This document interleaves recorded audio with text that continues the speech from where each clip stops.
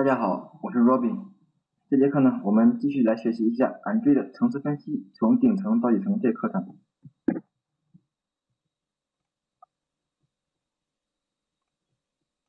上一小节我们讲了为什么 Component 与 Callback 这个话题。这节课呢，我们就接着讲一下为什么 Intent 与 Activity Components 这个话题，也就是我们的 Android 为什么不让我们直接去 new 一个对象，而是通过发送一个 intent 给他，他帮我们去启动这个对象。首先，我们，哦不好意思，首先我们看一下启动一个另外一个 component 的一个过程。这个图我们之前也看过，再回顾一下。第一步呢。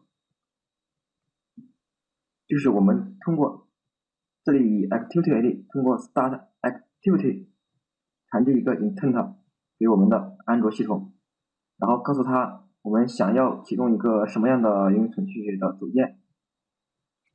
第二步呢，我们的安卓系统就根据我们传递给他的一个 intent，然后去找到合适的目标组件。啊，如果是只有一个呢，它就直接会帮我们启动；如果找到了很多个呢？我们之前讲过，就会直接给我们全部把它列出来，让我们去选择一个。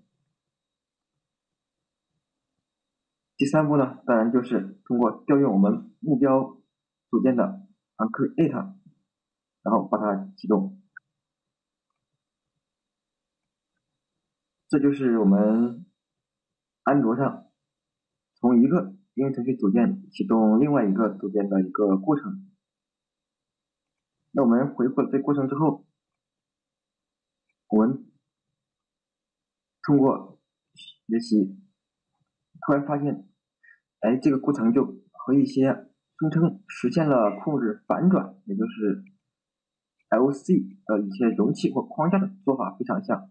比如说我们的 Spring，这里简单的说一下，这个 Spring 呢是在2003年兴起的一个轻量级的 Java 开发。框架，它通过控制反转，也就是 IOC 这个技术，促进了一个低耦合的架构。控制反转在 Spring 这个框架中的体现呢，就是由 Spring 负责控制对象的生命周期和对象之间的关系。具体来说，Spring 是怎么去实现我们的 IOC 呢？在这个他的博客上找到了一个浅显易懂的答案，这里我们大家一起看一下，先对它有一个直观的理解。这里呢，他举了一个例子，就是说，呃，一个男孩子怎么找女朋友呢？常见的情况是我们啊到处去看看，哪里有长得比较漂亮的，然后打听一下。女孩子的兴趣爱好等等等等信信息，然后就想办法认识他们，投其所好。啊，这个过程呢就很复杂，我们必须自己设计面对每个环节。在以以往的程序开发呢也是这样，我们在一个对象之中想要使用另外的一个对象，你必须得到它，就可以去用一个，或者是从 DNDI 查询一个，使用完呢还要去负责将它去销毁。这样呢，对象就会和它其他的接口和类，呃，耦合起来。那 Spring 框架是怎么做到的？这个又打了一个比方，它就有些像通过婚介去找女朋友，就在男孩子和女朋友之间引入了一个婚姻介绍所。这里面呢，它管理了很多个人的资料，我们可以向他提出一个。列表告诉他们，哎，我们想找一个什么什么样的，这里说，比如长得像什么什么什么什么，唱歌什么什么的，然后呢，这个婚介就按照我们的要求给我们找到了，那我们就只需要去使用就行了，啊，这个过程呢就不再由我们自己控制，而是由第三方这样一个类似容器的机构来控制。具体来说，就是在我们的 Spring 容器中，所有的类都会去登记，你告诉 Spring 你是一个什么东西，同时你需要什么东西，然后 Spring 就会在运行的时候把你需要东西给你，同时也会把你交给其他需要你的东西。所有类的生命周期呢，都是由 Spring 它来控制。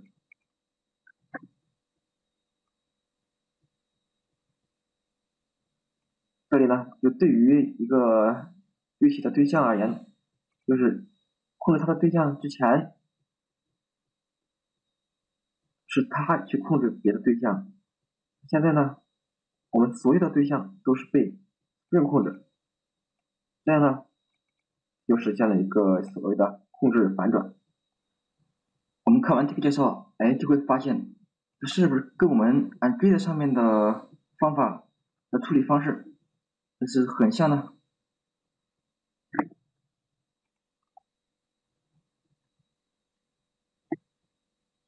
看到这里，那我们就发现了，哎，它这这个处理方式跟我们 Android 上的做法，哎，是很像的。也是在 Android 上呢，我们不是不需要直接去用一个对象，我们只需要告诉我们的 Android system，我们需要一个什么什么样的的对象，然后我们的系统就会把它给我们启动起来。那我们就知道了，我们的 Android 这里也是实现了一个控制反转。那我们再看一下这个控制反转，也就是 IOC 的英文呢，Inverse of Control 它到底是什么？一九九六年呢，Michael Mason 他提出来的这个观点，他的观点呢？就是，LC 它不仅仅是一个设计模式，更重要的它是一个通用的原则。什么原则呢？用来区分 API 和 Framework。基于什么区分呢？基于控制权在哪里？它的意思呢，就是我们的 Framework 是具有控制权的。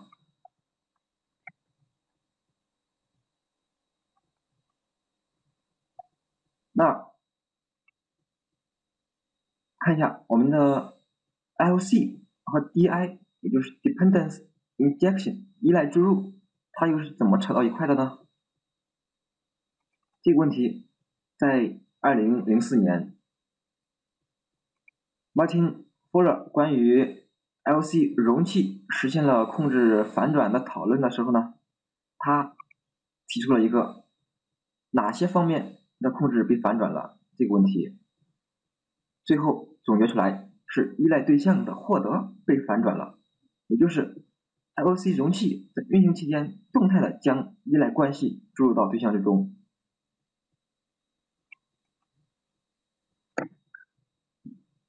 什么意思呢？我们在这里结合着我们的 Android，呃，看一个示例。这里呢，我们自定义了一个 Activity。名字呢就是 binding act，它实现了一个什么功能呢？主要就是和一个 Service 绑定起来，然后去交互。那我们就看一下它是怎么去和 Service 去绑定，然后交互的。首先看一下 OnCreate，很熟悉了。在这里呢，我们设置一下我们的 Control View，然后呢 OnStart 同样也是我们很熟悉的一个函数。在 on start 的时候呢，activity 就又起来了一个 intent，然后告诉他我们要启动的 service 的名字就是这个，然后呢，把用起来的这个 intent 通过 bind service，然后传递给我们的安卓系统，同时传递了还传递了一个参数，这个参数的名字呢是 my connection。这个 my connection 什么呢？我们看一下，在这里，my connection 它是用了一个 service connection。这个 service connection 呢是 Android 定义的一个接口。这个接口的作用呢就是当 Android 系统把我们要绑定的 service 给我们启动启动就是起来了，然后绑定到绑定之后，它就会调用到这个接口里边的两个监听呃后边函数，把这个 service 传递回来，通过这里就把这个 service 传递回来，然后我们呢就这里可以获得到它为我们启动的这个 service。所谓的依赖注入，那我们这一块就是一个依赖注入，它的意思呢，就是在我们想要和一个 service 进行交互的时候，这里我们不是去直接有一个 service 出来，而是通过 find service 传递一个 intent，告诉我们的系统我们想要一个什么样的 service，然后我们的系统。根据 intent 把我们的 service 绑定之后，通过调用 service connection 这个接口里边的 on service connected，把这个 service 又传递到我们的 activity，也就是把这个依赖关系又注入到 activity。所谓的依赖注入就是这个意思。后面的代码呢，我们可以大概看一下这个。on button click 呢，就是我们在一个按钮上设置了一个监听，当按钮被点击的时候，就会调用到这个函数。然后呢，它调用一下，在这里，我们系统给我们注入的 service 去和它交互，然后获得一个随机数，并把它显示出来。on stop 这个我们也很熟悉了，嗯，在 on stop 的时候呢。和我们的服务解绑，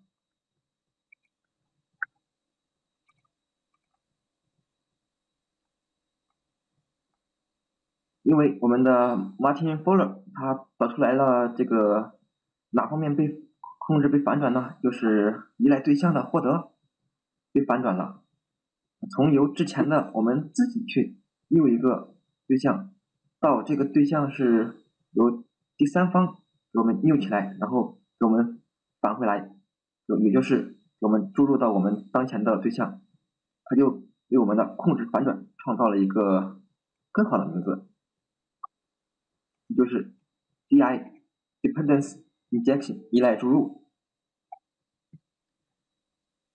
因为呃 IOC 这个概念呢，开始广泛受到学术界的关注，也就是通过马丁·富勒的这篇文章。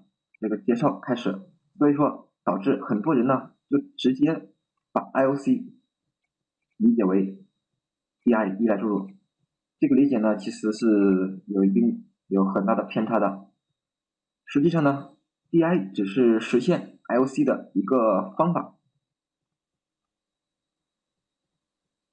以我们上节课讲。component 与 callback 为例，这里我们讲到 template method 模板方法，它它同样也导致了一个反线控制的结构。这里呢，也就是我们 template method 也可以实现了一个 IOC。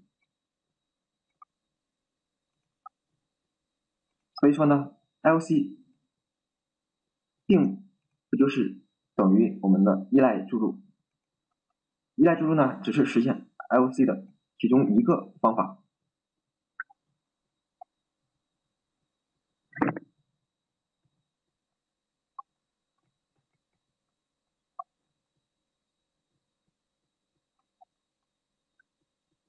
好，那我们再看一下，我们为什么要使用控制反转？这里就涉及到一个问题，我们软件开发的不变真理。不变真理是什么呢？change 就是改变，永远不会变的，就是改变。在网上呢，流行一个关于植物人的故事，也就是有一个程序员出车祸了，呃，变成了植物人。医生说呢，他活下来的概率是万分之一，那个被唤醒呢，就更是不可能的。但是这个程序员他的 leader 和家人呢，他们并没有放弃，他们就天天在他的旁边念啊某某某啊需求变了，该起来干活了，天天就念这个。啊突然间有一天，我们的这个程序员就醒了，醒来第一句话就说什么需求都变了。这个故事呢，也是在说一个道理，就是我们软件开发这个需求呢，是时常会改变的，我们每个人都会碰到的。那么，怎么应对这个需求的变化？啊，基本的思路也就是两个方面。第一个呢，我们是可以领域建模，然后对这个模型呢持续优化，来适应需求的变化。这个是被动的。另外呢，我们还有一个选择，可以让我们在需求变化中处于主导的地位，让客户跟着我们的设计。来满足我们的需求，而不是被动的适应。相比之下，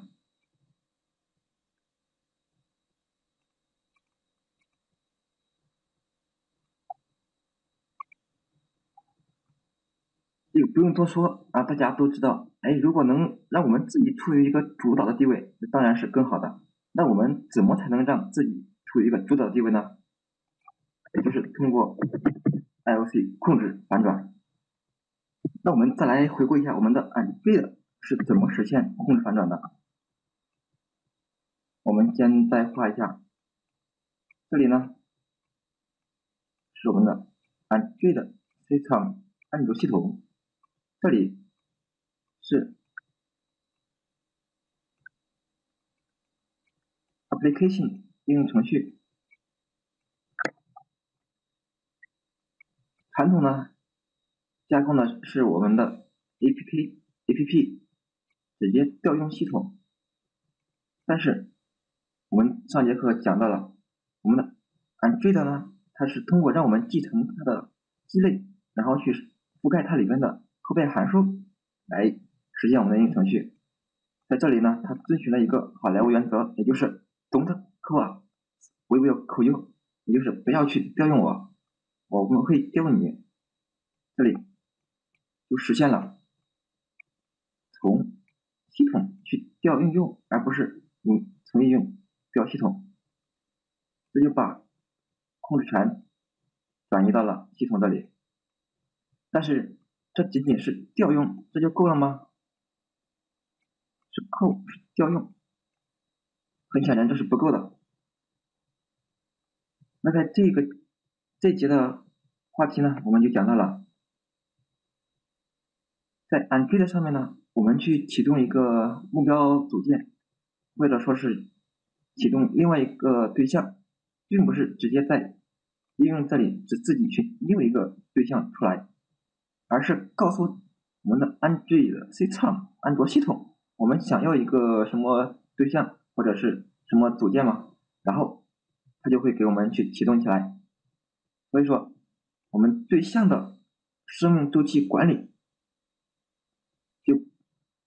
从 A P P Application 这里也转移到了我们的安卓系统，所以说这里 New 也是安卓系统它帮我们 New 起来的，由此一个对象 New 是我们的安卓系统给我们扭的，那扣也是由安卓系统调用我们的应用程序的，所以说。我们的控制权完全就掌握在了我们的安卓系统这里，由此就实现了一个控制反转的架构。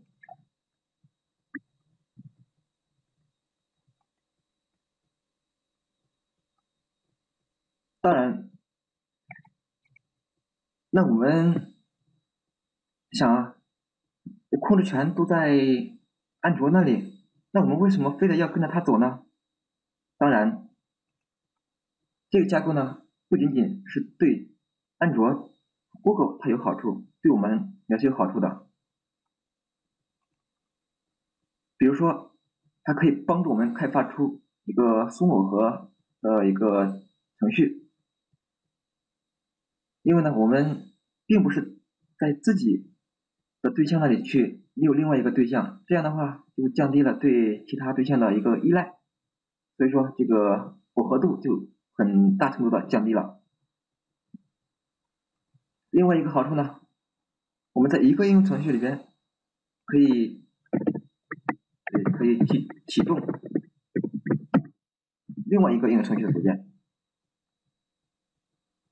比如说呢，我们想要去调用相机设备去拍张照片，这可能就有另外一个应用程序已经写好了，我们就不需要自己去再去重新开发一个相机，我们只需要告诉我们的系统，我们想要拍一张照。哎，我们的系统就会去启动相机应用程序，帮我们拍一张照片，然后呢，它是还是可以把这个结果返回给我们，让我们使用。对于用户来说呢，它好像这个相机就是我们这个应用程序的一部分。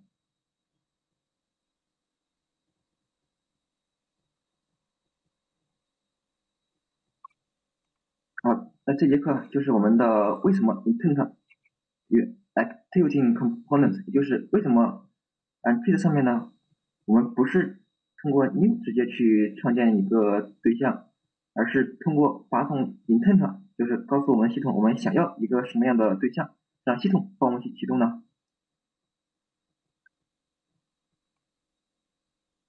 这里呢，就是为了让我们的系统去控制对象的生命周期和和对象之间的依赖关系。